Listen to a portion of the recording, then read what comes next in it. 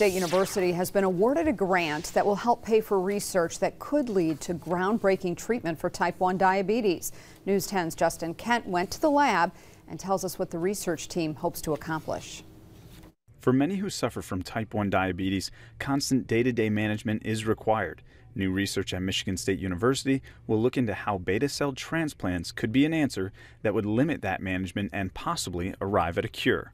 There are a number of transplant technologies and they would act as a cure, at least temporarily. Uh, nobody's saying that this is a permanent solution, but for months to years, it could be, and ultimately it could be a cure, yes. A new imaging machine will allow researchers to monitor the beta cells to see if the transplant is working.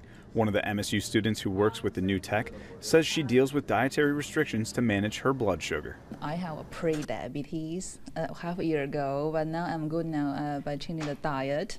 Uh, but if we have particles, I will dose myself with the particles. I will be better much faster. $750,000 has been awarded to Dr. Smith's team.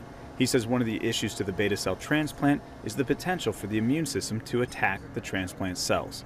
Dr. Brian Smith, who will lead the new research, says they now have the ability to observe this process and figure out what is going to be most effective. What we are working on doing is developing an imaging or immunoimaging technology that can visualize whether or not the immune system is attacking a transplant within the first few hours or days after the transplant.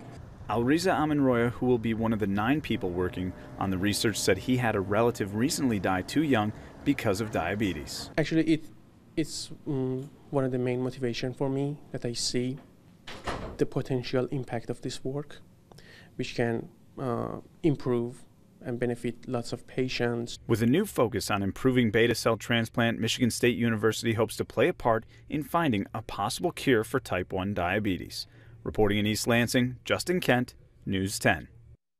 The Juvenile Diabetes Research Foundation has provided the grant to MSU. The organization was established back in 1970 by parents determined to find a cure for children diagnosed with type 1 diabetes.